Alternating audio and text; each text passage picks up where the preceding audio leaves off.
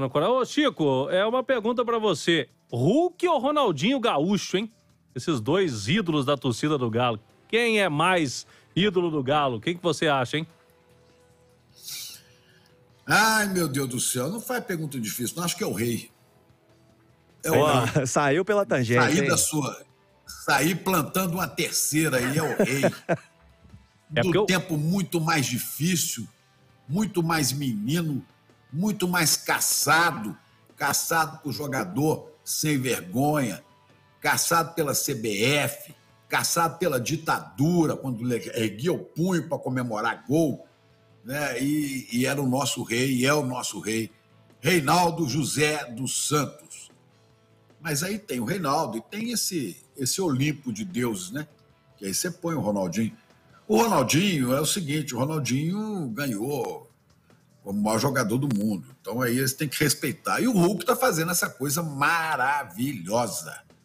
Inclusive, uma coisa do Hulk que me deixou muito feliz essa semana foi ver nas redes sociais o Hulk rodando a cidade, solidário às pessoas que estão passando frio, pessoas que estão em situação de rua. É um exemplo que a gente devia sempre levar adiante, sabe?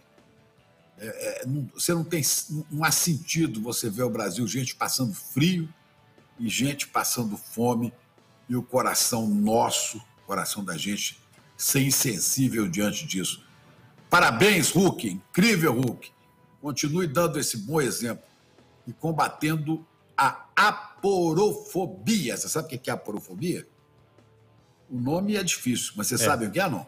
O que é, Chico? Explica Aporofobia, não tem homofobia? Tem. Né? Pois é, tem homofobia, tem misoginia que é contra a mulher, e tem aporofobia. Aporofobia é o preconceito contra o pobre. É a raiva do pobre, é o ódio do pobre, é o desprezo do pobre, é a incapacidade de, mais do que ver o pobre, é de sentir o drama dele e estar tá junto.